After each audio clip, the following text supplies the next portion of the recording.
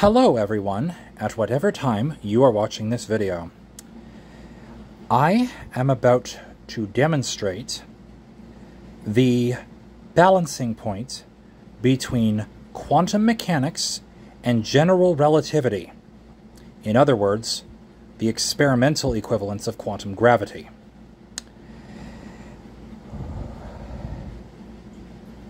This is, as far as I know, the first experimental attempt at logically equivocating two core phenomena quantum entanglement and gravity itself. A little bit of background about the apparatus you see in front of you. There was a famous experiment done in, I believe, the 14th century by a physicist named Huygens.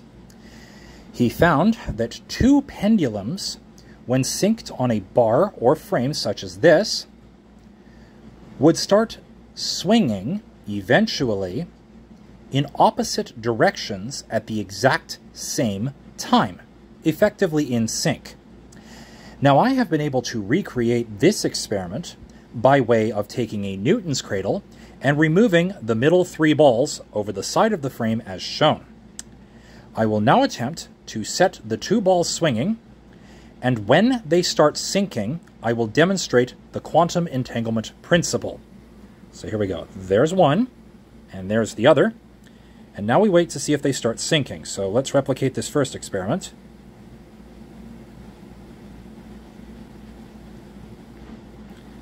And you notice that after a little while, they start to appear in countersync. That's good. Now to make this quantum, which is all probabilistic because we can't see, I will put this cloth over the apparatus. Now, you do not know which way each is swinging. But if I lift one side, and you see that it is swinging in one direction, you should figure out that the other one is swinging the exact opposite way, as confirmed by the experiment. Here is the thing. Because the cloth was over the entanglement link through the bar, that literally was keeping these two in sync swinging, it has now become quantum, or probabilistic.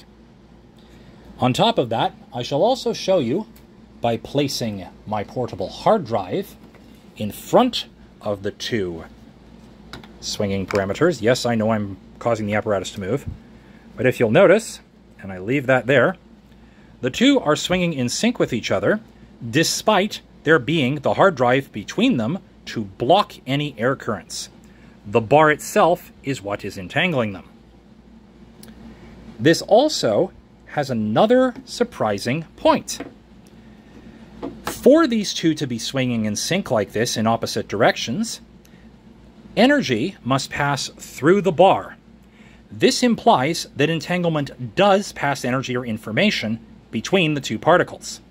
They are constantly always shifting between each other, and just because a physicist can't read whether the spin that they measured is up or down being random, does not mean that there is not information passing between the two. It just means the experimenter can't read that information. Now, for the final piece of the puzzle. I have now shown, again, to recap, that these two are entangled and swinging in sync between each other. Information is passing freely, but the cloth rendered that information uncertain. So once you opened one, over here, you knew that the exact other one was spinning in the opposite direction, or swinging, take your pick. Once again, information passes along an entanglement line, but it is not seen and is not readable because the link itself is not seen, therefore, people can't read it. So, in order for this to work, bear in mind that these two things are apparently disconnected on a two-dimensional frame. If we incorporate a third dimension, they are obviously linked. Therefore, the entanglement link, especially if it is distance independent in our frame, must be connected by a higher dimensional connection, which is logically equivalent to a wormhole. See attached papers. The last piece of the puzzle, though, to demonstrate that this is in fact measuring gravity, I have attached a string to the whole frame. And if I lift it up, well, wouldn't you know it? It starts measuring, and the two are still swinging in sync. This is what is known as a torsion balance, a tool used for measuring gravity since the days of Newton and Leibniz. So, ah, here's an interesting little bit. It appears that if you look along the line, the two, forward and backward, are synced in time too, assuming that, you know, line of propagation from A to B. This is confirmed by another experimental paper about entanglement in time, not just in space. I can attach that accordingly. Hell, even the out of syncage that is happening here can show the propagation of information.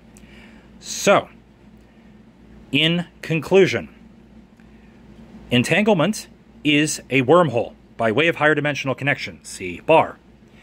It is literally able to be hidden, see cloth from earlier, thus making it probabilistic.